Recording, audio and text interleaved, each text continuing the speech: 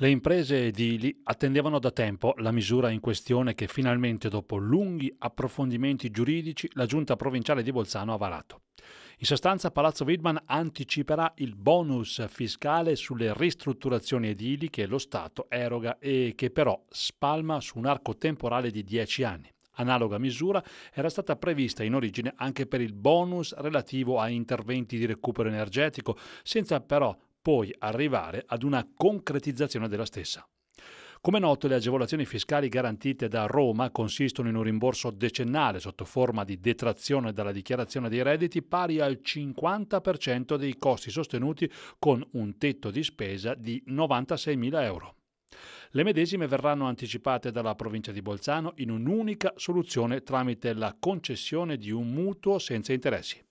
Il beneficiario avrà l'obbligo di restituire il tutto nel giro di 10 anni tramite altrettante rate, la prima delle quali dovrà essere versata il 30 settembre dell'anno successivo alla sottoscrizione del mutuo. Il vantaggio è naturalmente che si ha a disposizione questi fondi e si inizia a restituirli a tasso zero dall'anno dopo.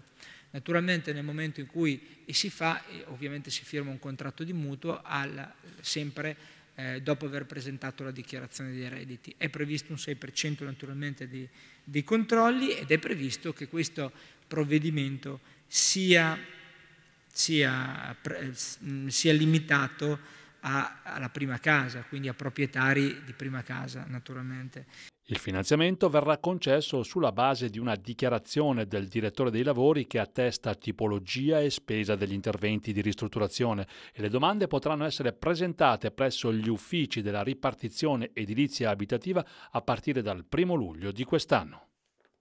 Ma sicuramente è un grande impulso, non possiamo negarlo. Arriva purtroppo in un momento cioè alle metà di, di, giugno oramai, nella quale poi le famiglie probabilmente aspetteranno settembre-ottobre per partire con i lavori e il rischio è poi però che nel periodo autunnale non tutti poi decidano di passare in autunno con la casa in ristrutturazione, per cui probabilmente c'è una parte di residuo che andrà nel 2015. Peccato, abbiamo aspettato molto, però sicuramente una buona, una buona linfa di aiuto per quanto riguarda un settore che continua a essere in crisi e continua ad avere sofferenza.